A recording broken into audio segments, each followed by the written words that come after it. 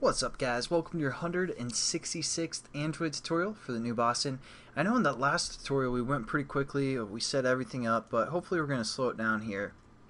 All we did for the most part, we set up all of our references, pretty uh, normal stuff, but uh, the only new thing that we had was this intent and we got the extras, and as long as the extras was equal to something, we're going to set up our app widget ID.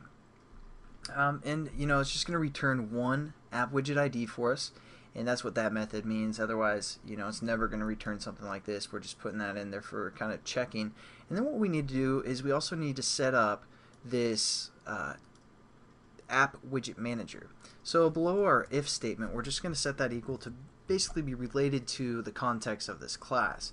So how we do that is we do set up our app widget manager equal to our app widget manager class again, we're just that's just a default class comes with the SDK and all that.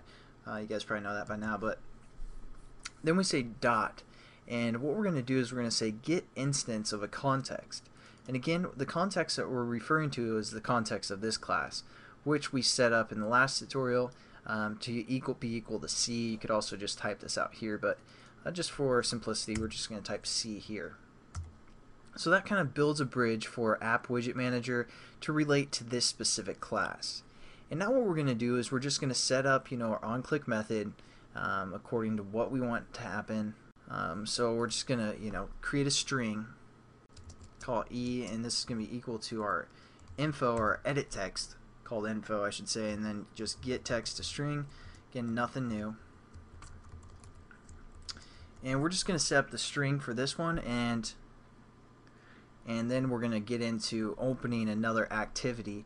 So this is kind of uh, kind of similar to what we have done previously, but let's give us a little space to work here. Again, we need to set up a remote views, and we're going to call it V, and we're going to set this again equal to new remote views.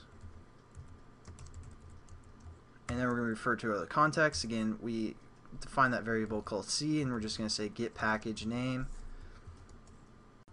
then we're going to relate to the layout that we called um, for our widget itself. So again, we're messing with the widget layout, so that's what we need to refer to here. Finish off our statements, import. Again, nothing too new here.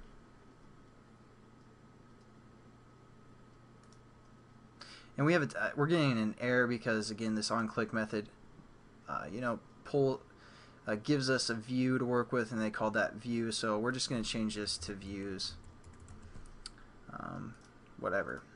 That works.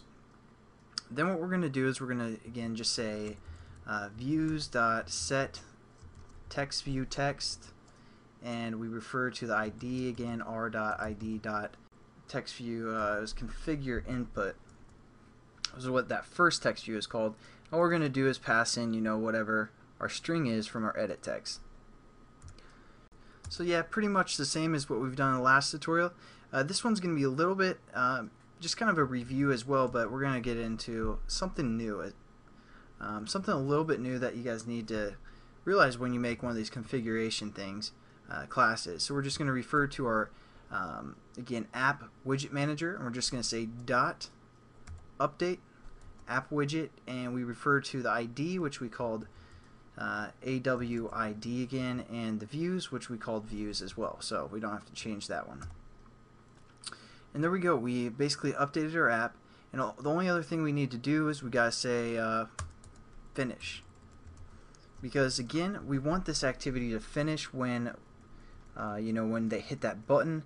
So that's pretty much the core concept of probably this tutorial. Um, again, we just kind of did it a little bit different, referring to a context, get instance of the context here.